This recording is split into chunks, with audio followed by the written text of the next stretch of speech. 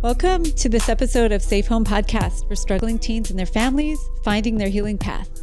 I'm Beth Syverson, a mom of an 18 year old son, Joey, who has been dealing with drug addiction and mental health issues for several years. I am walking beside him as he struggles with his recovery while I work on my own personal growth and healing. Now, if you're new here to Safe Home, or even if you have been around but just haven't noticed, we have four main topics that we rotate through in our episodes addiction, adoption, mental health, and embracing diversity.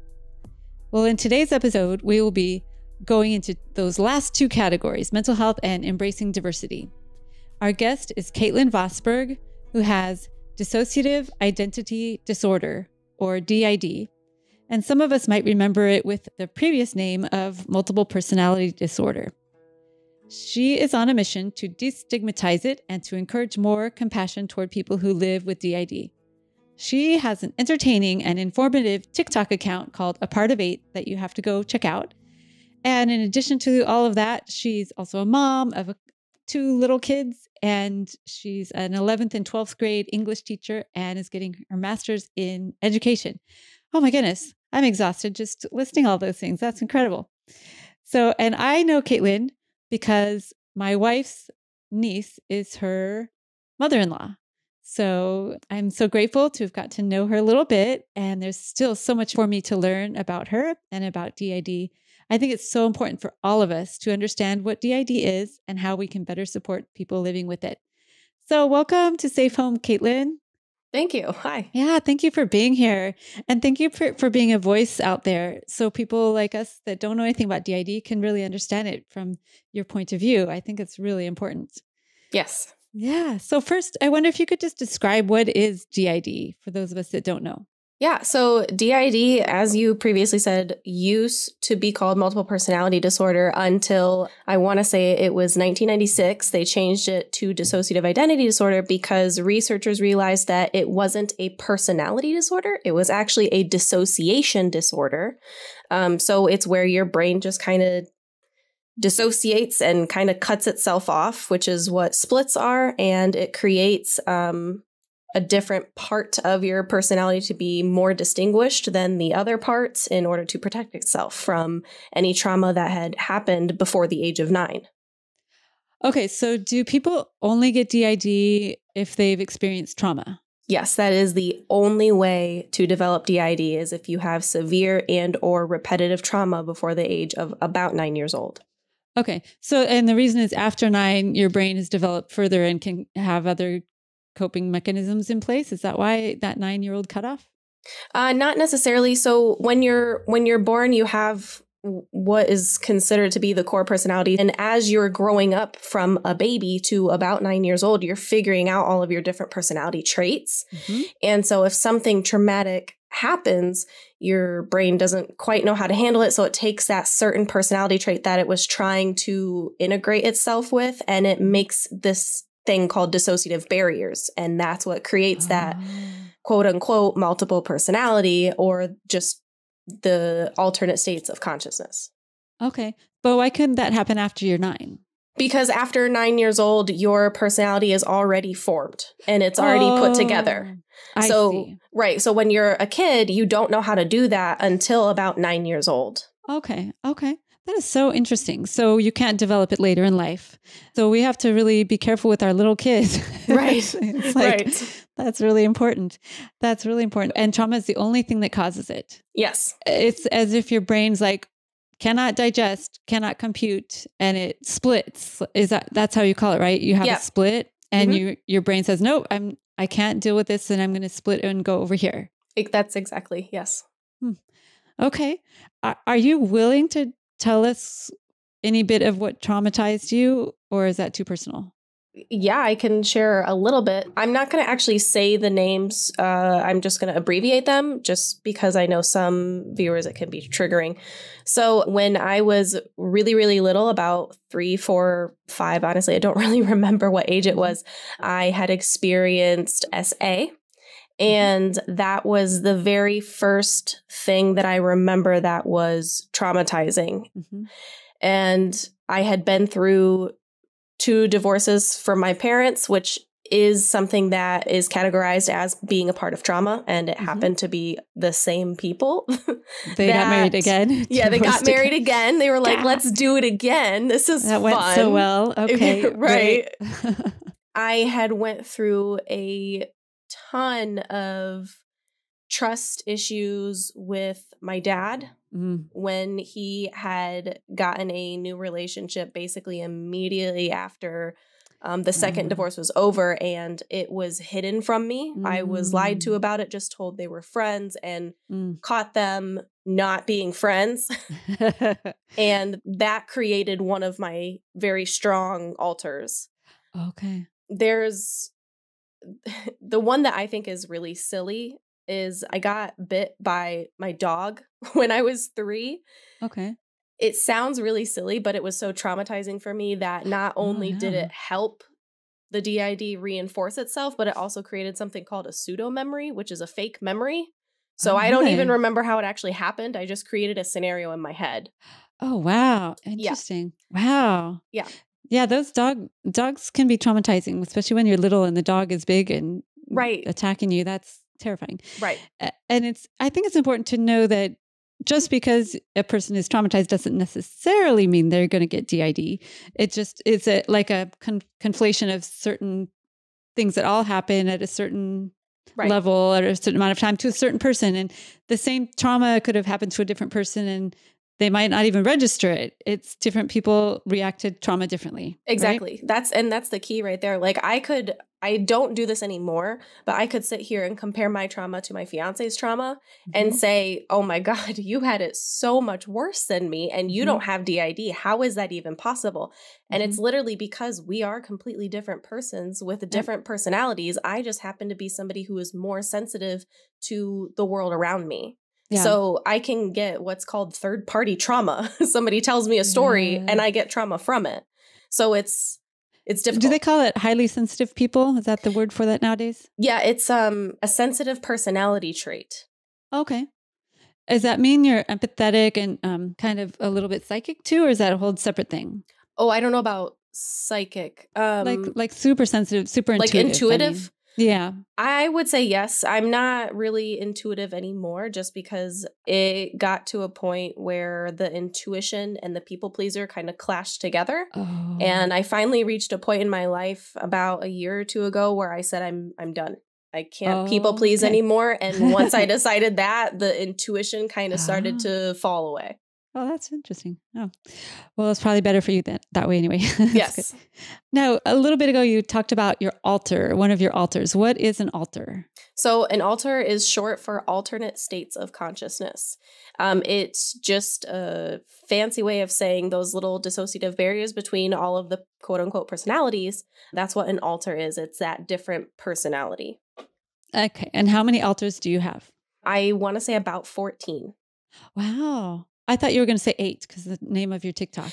So it was it was eight. Um Oh, so it was eight when we first created all of the social media accounts. Um, and then we started to self-reflect and meditate and mediate more. And it went from eight to 10 to 12. And then it went from uh 12 to 14. And then it went from 14 to 13 because we had an integration happen. Okay. Uh, but then we split again recently. So it went from 13 to 14. Okay. Wow. It's exciting. And I notice when you say we, you're not talking about like you and your fiance. You're talking about you. yes. You, you refer you to, to yourself as a we. yes. As we. I know you have an alter named Alex. Yes. That's a guy. Yes. So if you, I don't know how you say it. If you are Alex at the time, what? How would you say that? If you're presenting as Alex, what would you say? so so if Alex is fronting, then it Fronting. like that's just it. He's fronting. But and then um say I. yes. So currently it's it's Emily um because I just I take care of all of this stuff with the research and the explaining. That's literally my job. Um, Okay. But I know there's multiple around right now, such as Alex and V. They're around, so that would be considered co-conscious. Okay. The best way to explain it is if you're driving a car, I, Emily, I'm in the driver's seat, I'm Mhm. driving, I'm in control, and the others are in the passenger seat. They're just observing and watching. Okay. Now, are you willing to name off your uh, alters and kind of their roles? Yeah. So um, we have. I'm going to start off with the littles. I'm not going to give their actual names. I we Mm-hmm. have uh, social media names for them. Okay, sure. So our youngest is four. That's TL. He's a male. He is specifically meant to hold trauma, and he's Mm. just a trauma holder. So Mm. it's really messed up that our youngest is our trauma holder, but at the same time, it makes sense because four years old was when our trauma started. Mhm. Yeah. So that just makes sense to us. And then our next one is Sunshine. She's a female. She's seven years old. We have no idea what her role is, but she's just happy go lucky all the time. She's definitely holds no trauma. Um, nice. I love her name too. yeah. Mm. um, and then there's myself. I'm considered an internal helper, which basically means I know the system workings. I know everything that's going on at all times, or I tend to know more than everybody else. I am also considered the host, which means that I am out the most taking care of the daily tasks. Okay. And that's Emily, right? Yes. Okay. And then I am also what's considered a caretaker, which is basically like a, a babysitter or a, a mom um, to specifically Sunshine. Okay. Um, and then there's Alex, who is our, at the moment, secondary protector. He's also like our physical protector. So if we ever get sick or hurt, he's kind of the one that's triggered out and is like, I got this, you guys. Okay. He's also the caretaker to TL. Mm, okay. And then there is, oh, there's Kayla. We honestly don't know what Kayla's role is anymore. She actually hasn't been around recently. So we're not quite sure what's going on with that. Oh, I forgot to say. So I'm so sorry. I forgot to say. Emily, myself, I'm 32 years old in the system. Okay. Alex is 19 years old in system, and Kayla is, I want to say 22 or 24. I don't really know exactly anymore. Okay. And then we have Mr. Morris. I honestly I have no idea what his role is. I think he's a gatekeeper, which basically is just telling us who gets to front and who doesn't get to front. Okay. And then there is V. She's our newest member. She is our primary protector. She is a, I guess, external caregiver. So she takes on the role of protecting others that cannot protect themselves Okay. which includes ourselves. So anytime something is wrong with our kids, she's immediately pulled out. She Okay. takes care of all that. Or we also just realized if there's anything wrong with any of our students at school, she immediately comes out. Oh, And then we have Mama, who is our primary gatekeeper. She's ageless. She literally has no age. Okay. And then there are two other alters that I have a hard time explaining who they are because I don't even know who they are, which is the beauty of having DID is because you can know how many members you have, but there are some that are going to hide from you. Okay. I remember when I talked to you the other time, that's the whole point of DID that a lot of people don't even know they have it because the whole point is the hiding and the non integration because that's the whole disorder, right? Right. The dissociating. So is it rare to get diagnosed and to figure this out? I wouldn't say rare. It's not super common, but it's not rare. If you think about how many redheads you see or how many redheads that you've come across in your life, it's the equivalent of redheads Wow. um, diagnosed. So Diagnosed. Wow, that's a lot. undiagnosed, right? Undiagnosed, there could be I a no plethora of more. Okay. And how how old were you when you got diagnosed? 23. Okay. Is that about when people typically get diagnosed? It really just varies. I've heard of people getting diagnosed as young as 14, and I Mm. have heard people as old as like 60s getting diagnosed. Really? Yeah, so it really just depends on the psychologist or psychiatrist that you see and how your symptoms present. I see. Okay. Did yours come to a head? How did how did you get into that doctor's office to get a diagnosis? So the first time that we had gone was actually because our fiance had what we now know as an autistic meltdown, but we didn't know he was autistic at the time. So because of the scary thoughts he was having, naturally, I took him mm-hmm. to the doctor's mm-hmm. office and, mm-hmm. you know, put him in there. And that's where he talked to a psychiatrist and was like, "Hey, by the way, you have autism. All of these symptoms are your autism." And I- Oh. he called me about that and I was like, "Wait, that's not normal?" Like what? I thought all of that was normal. And so I, specifically me, Emily, started thinking, like, wait a second. If those symptoms are not normal, then maybe what I am experiencing is also not normal. So we called that mm-hmm. same place and was like, hey, can we get an appointment? And because, of course, it was beautiful with COVID, we had to do an online appointment, like one of those telehealth appointments. And so we did a telehealth appointment. And at the end of that incredibly long appointment, she listed four different things. And one of the very last things she said was, Oh, by the way, you also have dissociative identity disorder. First of all, I didn't know what that was. I barely even knew what multiple personality disorder was, let alone uh-huh. dissociative identity disorder. So to challenge that, I booked an appointment with a just a regular psychologist and about 6 months later, she also said, "No, you you have dissociative identity disorder." It was just really interesting cuz I was like, "No, that's not right. Try again." And they were like, "No, you really do have this." And I was like, "Oh, okay." And so did they they take take you in their arms and say, "But don't worry, we've got you. We got help for you right here." Yeah, so my the my therapist that I saw that diagnosed me the second time, I actually still see her almost 2 years later. Oh good. Okay, so they did help you out. Yes. Oh good. Good, good, good, good. What are the risks for somebody that has DID?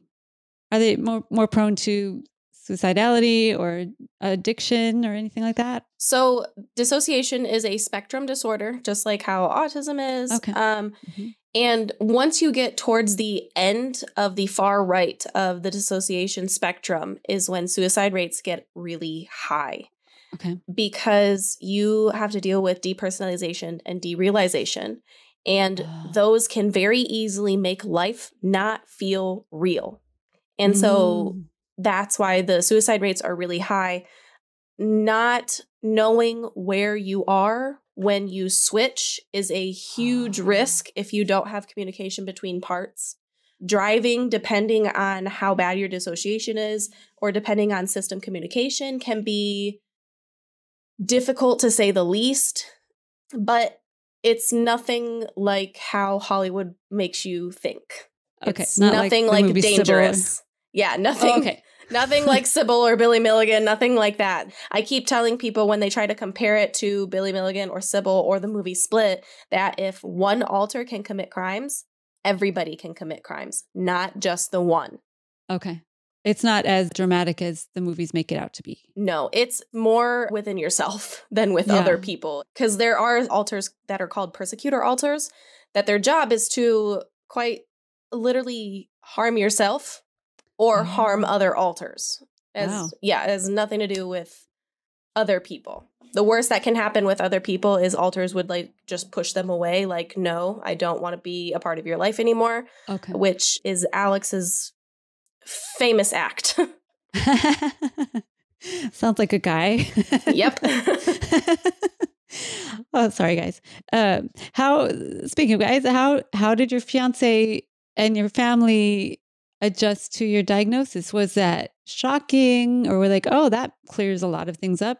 How did that land with them? So I've actually never talked to my family about this because it's difficult to have that. Hey, by the way, you caused me trauma uh, yeah. conversation with my parents. And so it's, I don't want them to be uncomfortable. So if they would like to talk to me about it, I'm more than willing. It's just, I want them to come to me about it because I don't want to overstep. I see. My fiance, there's mixed feelings. And it's only because most of the alters are like, oh, we love you, or you're my best friend, or like whatever. And then there's Alex that's like, hey, you're cool, bro, or I hate you. Oh. And then there's V who's just flat out, don't even talk to me. So oh. it it depends on who's fronting. but for the most part, he's pretty supportive, especially when our little four year old TL comes out and fronts. He's normally right there and he's normally like you're okay everything's fine you're not back in 2000 or whenever yeah. that was yeah. you're here in the present you know he'll mm-hmm. get fidgets for TL like oh. whatever he can so he's really supportive about it but there are also oh. hard times yeah well it's you both got diagnosed around the same time that must have just been such a woof and both are are pretty major life changing diagnoses. Right. And then three um, months later, our daughter got diagnosed. oh gosh, that just must be so discombobulating. Yes. Yeah. Yeah. Oh my goodness. Well, how have you how have you wished people treated you differently or given you support differently? What can we do or what how let me frame that in a nicer way, uh, in a more positive way. What have people done that have felt supportive to you or what what do you wish people would do? So it really just depends on the person. It depends on the system because I like it when people ask me, "Hey, who's fronting?" Mhm. But I know there's systems out there that says, "Don't ask me that." oh. So I personally like it when people ask me who's fronting because it makes that alter feel valid and feel Uh-huh. validated that this is something that happened. Mhm. But again, it's not something that we as a system press on other people. To have that understanding that our symptoms are going to show up in real life, in real time. So you and I could be having this conversation, and in three minutes, I could switch out to Alex or to V, and it if especially if it's V, it would literally be like, oh, wait a minute, what were we just talking about? I have no idea what we talked Oh. about. Um, and the famous one is just the what typical people call spacing out, Uh-huh. which is dissociating, or I like to call them brain breaks. Yeah. Um, which the really supportive thing that people have done is if they can see that we are dissociating, they'll kind of stop and they'll just sit there and wait for a second. Or there was one time in my classroom where I had two students who know about the DID Mhm. and both of them are super super smart and the one was talking to me and out of nowhere because it's never predictable I, you know i just dissociated and kind of just spaced out zoned out kind of took a step back and the other student said hold on give her a second and Aw. like in the moment it was embarrassing but then looking back on it it was like thank you because everything you would mm. have said after like the dissociation started i would not have remembered the one thing also people need to remember is dissociating like dissociation does not equate switching Oh. Okay, tell me the difference between switching and dissociating. so switching is when you completely switch alters dissociating is kind of where you just take a step back from the wheel Oh, just spacing out. yes just spacing out Okay. um okay. there are times when dissociating does lead to switching because that's how switching happens, Okay. but it doesn't always mean that you're going to switch. Is it just your brain needs it just to pause? Like, Yes. hang on a second, everybody. Just Yes, it's very common with people who have autism and ADHD to Mhm. dissociate, which I just learned that actually. Oh, interesting. Huh. And you have how much control over the switching? Zero or a little bit? We've been getting better at it. Okay. So I would say 30%, whereas a year and a half ago it was 0%. Okay. because there's four different types of switching. There is rapid switching, which is where it's it's also called carousel switching. You're literally just going in a circle within a matter of Mm. seconds, minutes, hours. Um, there is also forced switching, where an alter just kind of says, "My turn, you have no choice," and throws you back. Uh-huh. And there's triggered switching, positive or negative. So uh, trauma uh, flashback comes back, that alter comes out. Or um, our famous one is um, lake effect snow with our sunshine. She, as soon as lake effect heavy snow happens, she's like, "Oh my gosh, that's my favorite thing," and she ends up coming forward. Um, that's always fun in the classroom. I typically have to shut the blinds when that happens. oh, jeez. yeah. Um, You're in Indiana, I should say. Yes. Um, and then there is also consensual switching, which is the Hmm. controlled switching. It's, but just like typical consent, it's not always a yes. So I could sit here and be like, hey, Alex, can you switch in? And he could say no. And that's the end of Oh, it. That's okay. not going to happen. But if he's like, yeah, sure, then it then it can happen. Um, Huh. It could take a couple seconds. It could take a couple of minutes, or it could unfortunately take a couple hours. Wow. But that's something you have had to learn to do. Yes, it's not just something you get. Uh, So that's a growth opportunity if you have the energy and bandwidth to deal with that. Right. The better the Sure. system communication, the better that control can get. Okay. So that's therapy and self awareness and research. Like, how do you get better at that? those kind of things? So we had to start out with a dry erase board that showed when we switched and with who we switched. So it was a color coded board Oh. and it was quite often it was like 20 or 30 times a day we would switch. Whereas now it's about 7 to 10 times a day because we know our roles and we know what we're here for. Mhm. So it makes I it see. easier. Um, we have a binder where we would have to write notes in, and then when the other alter fronted, they would read it and then write their response because there was no communication. oh Um, wow! And then once we finally got the hang of communicating in real life, we were able to meditate and step back from the real world and kind of Oh. have um, like a headspace meeting. Uh-huh. And then once that became a regular thing, we started to learn how to talk to each other when real life was happening. So, like, Alex could be telling me right now, like, tell her I said hi or uh, something. I don't know. And I could, like, internally throw back, I'm not doing that. And it, it happens Uh-huh. now. Whereas Uh-huh. a year ago, that would not have been able to happen. I could be able to hear them, but I couldn't be able to throw dialogue Oh. back. Wow. You must have so much insight and just self awareness to be able to do this work. It's a blessing and a curse. I know it sounds really hard and exhausting. Plus, you're in school and teaching and and parenting and fianceing, and that's just so much. I don't know how you do all that. How do you keep it all together? Um, we don't. No.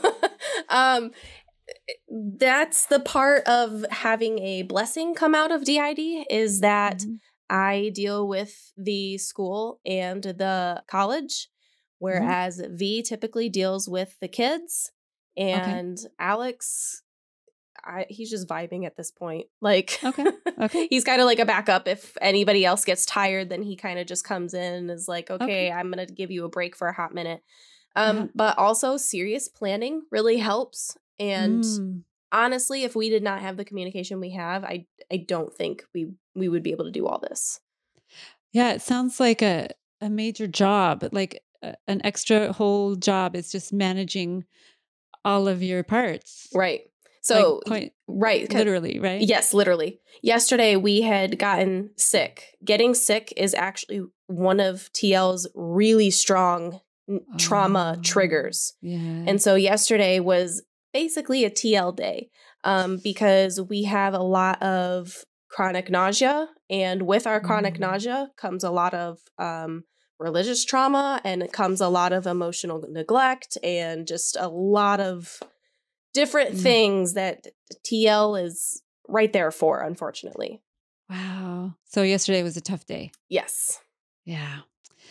And uh, okay, so just talking with me now, it's been Emily this whole time. Mhm. Would I know it if you switched? No, not Okay. unless you know us.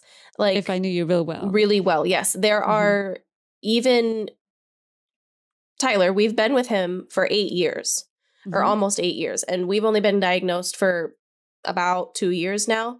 Mhm. There are times where most of the time he can tell, but there are other times where he has no idea. He just, you know, just go on about his day, not thinking that we've switched at all.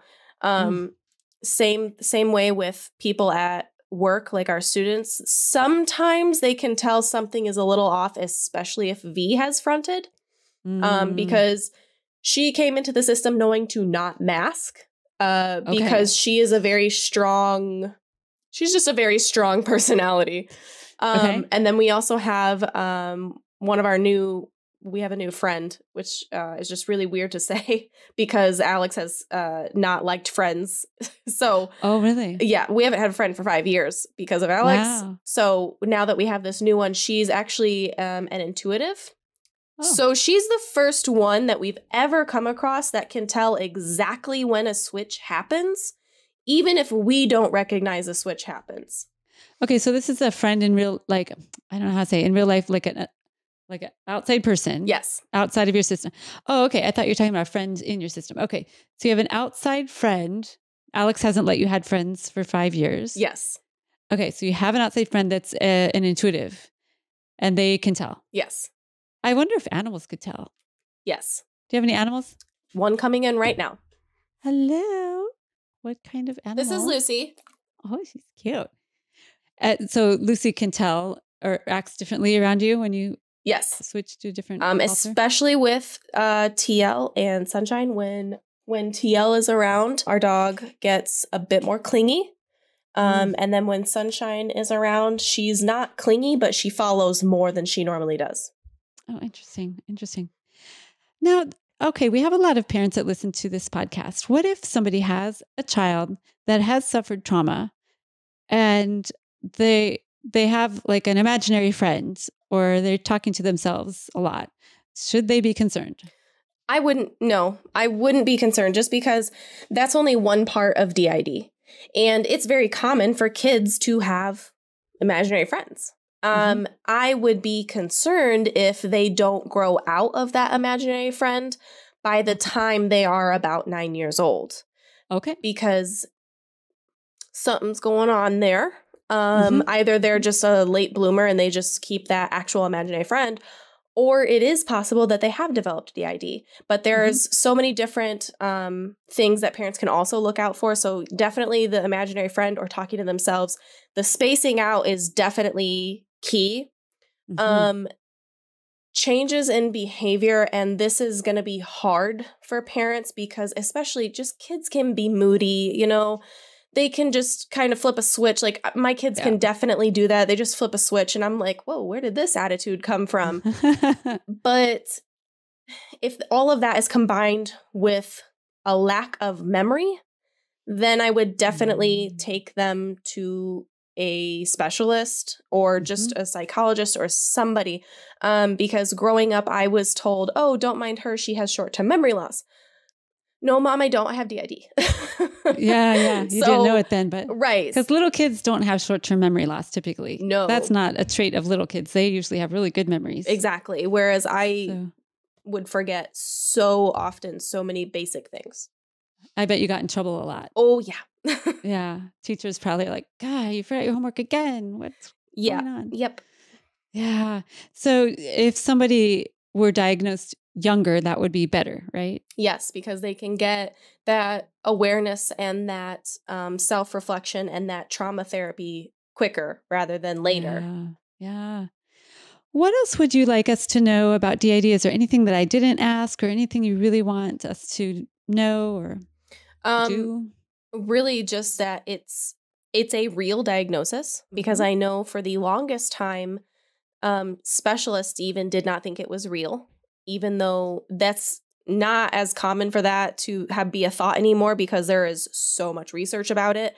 Um, okay. But because psychologists said it one time, like 20 years ago, people are still clinging on to that idea of it's not real. Unfortunately, it is real. I Mhm. guarantee if you talk to anybody that has DID, they would love to say it's not real. Yeah. But unfortunately, it is real. People that have DID are valid, and what they went through, they should not have gone through. Mhm. And that's just, it's not okay, first of all, for them to go through that. They did not know any better. It is Mhm. not their fault. right. Absolutely. That is the biggest thing. It's it's not your fault. Yeah. Well, I I'm thinking about the the fact that trauma is what causes this disorder. And then I wonder how many people get traumatized because of the disorder by outside forces, like the culture being just mean or dismissive or whatever. And then how traumatic it is to have to deal with all of the happenings in your mind the rest of your life. I mean, that it just seems like trauma heaped on trauma, heaped on trauma. Yes. There um unfortunately there have been systems out there that have taken their own lives because of how the world perceives them. Yeah. Um which unfortunately there's really not much you can do about that except advocate and get your voice out there and try to drown out the noise. Yeah. Is that why you made the TikTok account? Yeah. Part part of the reason was because I really wanted to let people know that you're not alone. You got this and I've actually had a lot of people comment on videos saying, "Wait, I didn't know this had a name to this or I didn't know this was a symptom." I've even had a couple people Oh. say that because of my videos they went out and started seeing therapy for these things. And I'm like, Okay. that's amazing because Beautiful. there are still people out there that say therapies for wimps or whatever. And it's like, Yeah. um, clearly you have never been to therapy. Yeah. like, Oh, therapy for everyone. Right. You get therapy. You get therapy. it's all good. Well, I love your TikTok because it's funny and irreverent and honest and vulnerable. And it, it you and I both believe in the destigmatization of all these things that have stigmatized people and kept us down. And I love just the energy that you put into it. It makes it accessible, not so scary for us trying to learn about it, not like some sacred cow that we're going to, I don't know, piss somebody off. right. It, you make it feel like, okay, I could ask maybe a person a question about this because Kaitlyn's out there, you know, on TikTok. Right. Yes. Sharing- we sharing- always try to experience. answer every single question that we get. Oh, I mean, we haven't been on TikTok that long, but just just to be blessed by the people that we have touched and that we have validated and Mhm. the the growth that we have had is absolutely unbelievable and I'm incredibly thankful. it's really, it's really great. It's really, really great. I remember the one about orange juice. Oh my Like one of your Ah! alters likes, like, what is it? The chunky kind of orange juice? Okay, here's the thing. No one likes pulp orange juice in my system. No one likes it. Alex was just being a jerk. Oh. Okay? so no it all started oh my gosh it all started with the crunchy peanut butter video because i went to go make a peanut butter jelly sandwich or something and we had only one kind of peanut butter which is fine. So i opened it up and i was like why is this chunky? I don't like chunky peanut butter. Who in my system keeps buying chunky peanut butter? So i made a video because for some reason like there are days where we don't have good communication. So i made a video because i wanted to know which alter was buying chunky peanut butter. And Yeah. it oh. turns out it was alex. Alex likes chunky peanut butter. Oh, okay. and so he decided to go out of his way to buy pulp drinks for me just to um, piss you off? just to make me mad.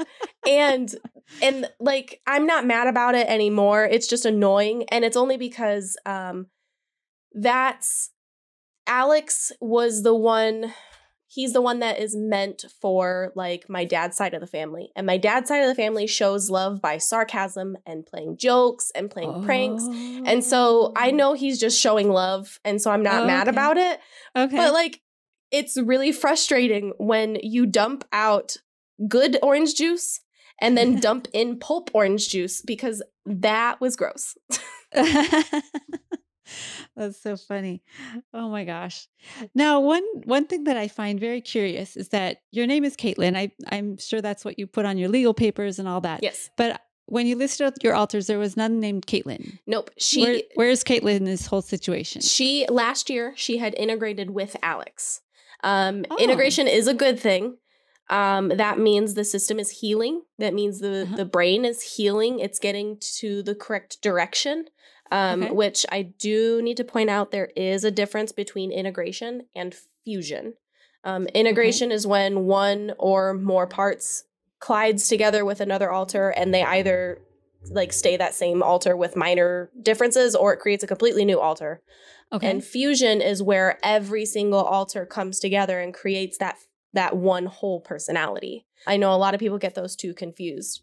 But that's what happened is that Kaitlyn integrated with Alex. okay. Okay. But do people still call you Kaitlyn? Yes, we're not picky on what people call us. If they're comfortable calling us Kaitlyn, that's what we go by. If they're comfortable calling us our alter name, that's what we go by. It's whatever is comfortable to that person because we are not going to press anything on others. Okay. Okay. Well, that's that's very nice of you. Um, because I'm sure if you were all picky about each one, we'd mess it up all the time, and then you'd be angry. Right, right. us all right. the time. Well, that's a, probably a really wise choice. And you mentioned fusion. Is that the goal? Is that the ultimate goal for people with DID? It again depends on the person because there are people that want the final fusion and there are people that have had the final fusion. But there are also people out there that want something called healthy multiplicity. And Mhm. that's where you still have the DID, but you have worked through the trauma, you have healthy communication, but all of your Mhm. alters and your distinguished parts are still there. Um, me personally, I don't know what we want because Okay. Alex wants final fusion. He does not want to be a part of a system. Uh, whereas Kayla wants the healthy multiplicity, and I'm just kind of along for the ride at this point. Okay. I can see both sides of that. Right. You know, just a little tiny bit. I know it seems like, okay, part parts of that sound good and parts of that sound good. So right. I guess maybe it will just be what it is. I don't know. Right. That's where I'm at right now. choice you have with it anyway. Wow. Um, if people wanted to get a hold of you, what would be the best way? So we have Facebook, which we have Messenger for Facebook. We Mm-hmm. have an Instagram. You can message us on Instagram. We also have an email that people can email us. And I believe that's it, actually, because I don't think people can message us on TikTok. So in all those places, you'd look for a part of eight, Yes. spelled out E I G H T. hmm And I will, of course, list all those in the description of the podcast so people can click on it. But in case they're not somewhere where they can look at their phone, they can just go look up a part of eight. Yes. Very good. Well, I hope people really check it out and get educated and entertained by your delightful videos. And it's just so interesting. I think it's it's fascinating what the brain does and how it can heal and change and oh yeah, yeah. There's so much. There's so much to learn. So I hope this episode gave everybody some new knowledge and some more understanding and compassion for people that that live with DID. I'm sure it's not easy at all, but hopefully the world will continue to become more accepting and more a safe place for you for you to live and grow. So thank you very much for being here, Emily Yeah. and Kaitlyn Of course. and everybody else. of course. Yeah, thank you. And thank you everybody for listening too. You can find Safe Home Podcast on all of those places that Kaitlyn was mentioning. And we also are on Patreon. If you'd like to support us with a small monthly donation, you will get a few goodies with that. And you can be in kind of the inner circle of Safe Home. And shout out to our newest Patreon member, Camille Hatton. Thank you so much for your support, Camille. So you can find all those links down below the episode as well. Thank you so much for joining us. Thank you for your support of our family and for being open to embracing these diversities in all sorts of different people. Thank you, Kaitlyn, again. And we both want you all to Stay, stay safe. safe.